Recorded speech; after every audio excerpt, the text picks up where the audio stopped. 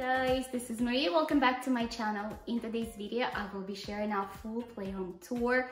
I have a three and a half year old and a five and a half year old and I've designed this space to accommodate homeschool environment, remote learning environment, and also lack of extracurricular activities. So we have areas for education, we have area for creative development, for play, just imaginative play, and then for active play. So I will share all of it with you. Uh, I will share also materials that I use and all kinds of toys that I use. But if you want any of more in-depth videos, I will link them for you in the description if you want to learn more about my creative area or any other toys. And now without further ado, let's get started. So right as you come in into the playroom, there is a kid's bathroom here. They have their towels. This um, hooks are really cute. I'll just show you real quick. They're dinosaurs, all three of them. Uh, pick those up in Target. So they have all kinds of stuff for their hygiene, some of their toys, the step stool, and then we turn in and we come in here. So the first area I will show you is right over here. On the wall, I have all kinds of dress up for Justin. Scarlett, my daughter, has her own dress up uh, station in her room. His dress up stuff is not as much, so he has it all hanging here. It is his doctor's outfit, dinosaur, dragon costumes, and fireman outfit. Mentioned all of them in my recent video for three-year-olds. Then that's his toy collection. That's predominantly what he plays with. And then there is a farm from Melissa and Doug with some animals. Right next to that, we have Scarlett's Cinderella castle. And this castle is decked out fully with all kinds of princesses and dolls. It came furnished with the furniture and it was, I think two years ago she received it. Has a bed and a, and a table there has a throne with a Cinderella's shoe. And the bottom floor has a kitchen and a bathroom as well. She has pretty much all of the princesses there. And then to continue with her girly stuff, this is more of her area here, is uh, this Barbie closet. Let me pull it out. So that's her Barbie closet. It came with some clothes, but there is some extra in there right now. And that's where we keep most of her doll clothes. Then there's that box right there. Has more of her Barbie doll clothes. Just have to keep it somewhere. Over here I have a smaller house. I think I've shared that one before with you as well in my previous playroom tour. So there's like all kinds of little theories and tiny furniture came with it as well. Both of the uh, houses are from KidKraft. Then move on in here, still Scarlett's area, and it's very similar to my previous playroom tour, so I'm not gonna spend much time on it. There is some pretend cookies over there. That's all the doll clothes. This stroller is from Toys R Us. It was like 10 bucks and with us forever. So she has all her dolls here. This was pretty cool. My mom got this. It's a backpack that comes with a bunch of clothes. This was from Amazon and it came with like six outfits with shoes and stuff. And it's nice because it all comes in this cute backpack that you could keep it in. And that's where we store it. This baby changing table is an awesome toy. We really love it. And I also love that it actually allows me to store stuff. And here she has cupcake. There's some pretend food in there. And this is a mommy bag where she has like stuff that she needs to take off her toy babies. And there's more clothes hanging on the hangers over there. And this is, I think, the new thing. We recently got it. Also, my mom got it for them. It's a double stroller. And it comes with a bag in the back as well. Kids really enjoy this one. We actually took this one for a walk quite a bit. And there is a bassinet with another baby over here. I was ready to film a playroom tour back in September, but that's what I've been waiting for. It's been backordered. This is amazing. That's a um, at-home play gym for the kids from Brain Rich Kids. Due to COVID, all their shipments were delayed, so it took me a little bit to get it. But I'm very excited because ever since we've got it, we installed it, it was really easy. It took us about two days. Not full on, it's just, you know, would come back to it. And the kids love it. So the weight limit on this is 220 pounds, which means that both of my children and I can safely hang in it. The monkey bar is at the top. It has pull-up bar, the ladder, then the, there is the rope you can climb up on. And there is these things that you can just swing on and hang on. The kids are such little monkeys. I don't know if yours are, mine are. They love climbing. And then on the floor here is the mat that I've got from Ikea. I believe it was about $28, something like that. And um, yeah, it's just to cushion it if they do fall off of it. I mean, this thing is awesome. Uh, here I have a giraffe. This has been with me for a while. And then I have these blocks. Every playroom tour, I'm gonna say it again, the best toy you can ever invest in. Kids still love it. Over here, I have another great toy is the tunnel. My kids still love it. They used, Justin used to love it as a baby. Scarlett used to love it as a baby and it still is with me years later. This is a big basket full of stuffed animals of all sorts and some kind of random toys that we get as gifts. So here is the like a, a look at that area, how it looks like. So I try to remove any kind of furniture from there. So just in case they do a slip off of it or something, they're not gonna hit anything. Then over here is my dinosaur area and it's pretty much the same since my last playroom tour. I Again, I'll link it for you guys. Here's my dinosaur tub. This is my medium-sized dinosaurs and that's gigantic dinosaurs that is Justin's absolute favorite. Pasquale is over there. Pasquale needs uh, some updates to his habitat. I just cleaned it out. So I'm gonna buy him some more stuff. Now let's look over here. Now, that was Scarlett's area back there. This is predominantly Justin's together with dinosaurs. He has this KidKraft table that has been amazing, his favorite toy for a very, very long time. And all of his trucks are standing underneath. It also has storage for all of his Hot Wheels cars. And there's the same storage on the other side. It also has uh, small cups hanging on the sides there, the blue ones, where we keep extra Lego pieces. And then there is that storage for Hot Wheels cars. On this side, I have the stepping stones leading up to the play gym. Kids love stepping stones. It actually is one of the best toys by far as well. They love climbing on it, playing floor is lava.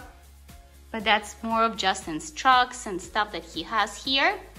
And then we will kind of turn this way and move on to my educational area. Before I move on to the other side of the room, I wanted to share with you that our entire playroom is shoppable on Amazon. I created a store instead of sending lots of links.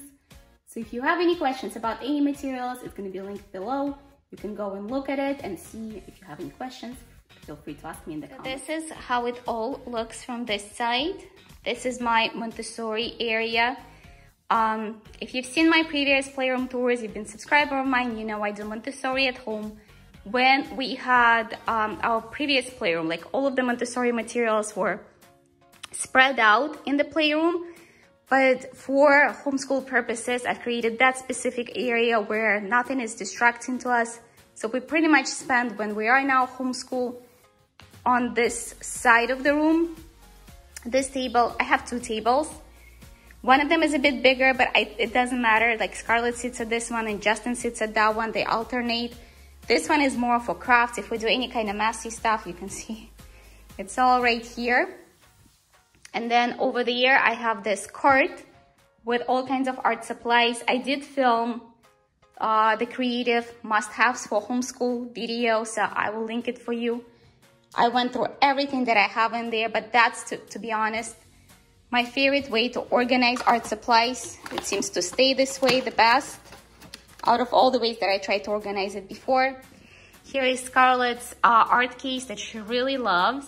Right here on this table, this is from Ikea.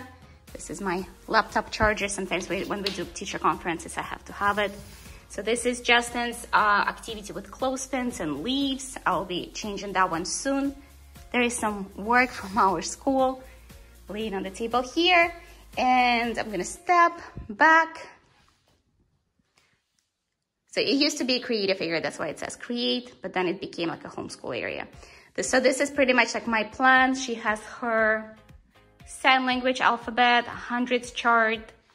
Over there, this is a loom. We've been working on it. Kurt asked to do it. It's not finished. Then there is this lacing shoe. I believe that one was from Melissa and Doug. I also have Roomba in this corner. I can't imagine my playroom without Roomba because every time we're done, I just turn it on and it kind of cleans it up very nicely.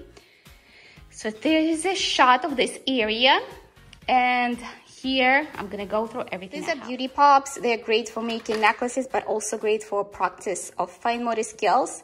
Kids don't realize they practice anything because they're lots of fun. My children really love them. This is jumbo numbers, magnetic numbers that go on the board right over here when we need them. This is a geo board right there. That's uh, a Montessori material for Justin for twisting and practicing of fine motor skills. Play-Doh basket. Here I have Scarlett made this activity and I kept it here. I thought that was very sweet of her.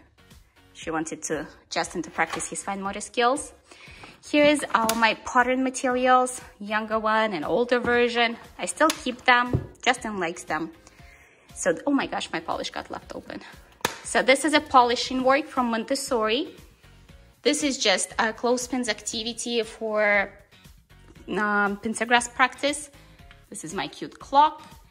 Pouring set, this is also a Montessori activity. And in this basket here, I have my materials. So handwriting without tears, Schoolsy, and this material here as well. Let's put that back. This all baskets are from Target. And these shelves, I pretty much stacked up the ones that I had. You can see this is a smaller version, the three cubby ones. And this is one was one shelf before. I don't recommend it for younger children. My kids are big enough. I would say that probably would be a bit of a bit dangerous for younger kids to have that. So this is our Magna tiles, full on set oh, or maybe it was Picasso tiles. I can't remember. They're all the same. This is our puppets. Kids love the puppets. And I actually have a puppy theater I'm to show you later. Moving on here is my bookcase with all sorts of books, kids' work folders. On the bottom here, I have some extra materials. I have 10 frames, matching memory game, magnetic puzzles, um, map puzzle, snap and sort activities. That's uh, a chalkboard we do, and that's another Play-Doh set my mom just got the kids. So that area over here was more of a practical life activities, fine motor skills activities.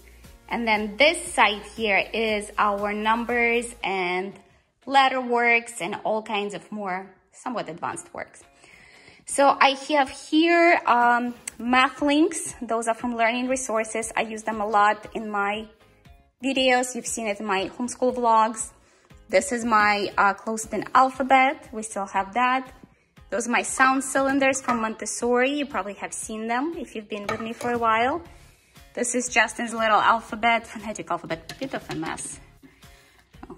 And those boxes, kids still play with them. They're just there for fun. I have geometric shapes from Learning Resources, my counting materials from Montessori, my uh, counting material from PlanToys that's been with me for a while, Montessori colored beads and uh, leaf counters.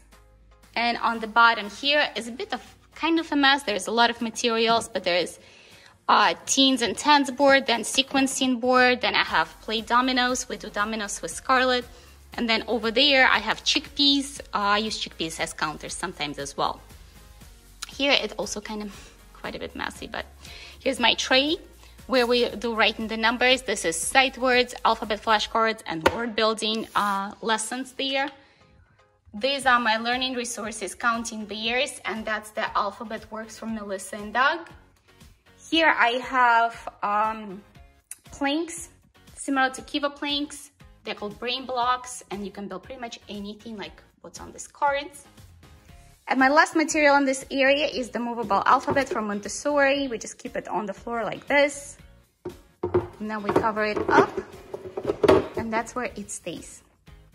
It's our Duplo Lego table. It's a bit distracted and I wanted to film it in a better state, but a lot of the times that's how it looks. So it's a disaster before the masterpiece. Now right here, the lights on the walls are from Ikea. I mentioned my previous playroom tour. We've got three of them around um, and we also have Alexa plugs wired to them. This is right here. It's probably listening to me right now, but we use it like, oh, what time is it? What date is it? And stuff like that. And also like when we want to turn on or off Pasquale's lights or the lights in the playroom. It's really handy. Storage, because I got requests for that. Guys, it is storage. However, pretty my playroom looks. This still like it's a working room. Just wanted to give disclaimer. All right, let's get to it. So the room we have a playroom in is technically uh, an, a second master in our house. So it has a closet and that's where I store majority of my stuff. So, I mean, there is really not a good organization. It's kind of piled up on shelves up there. I do have bins for the kids' toys, like baby toys are right there and right there. And that's some art.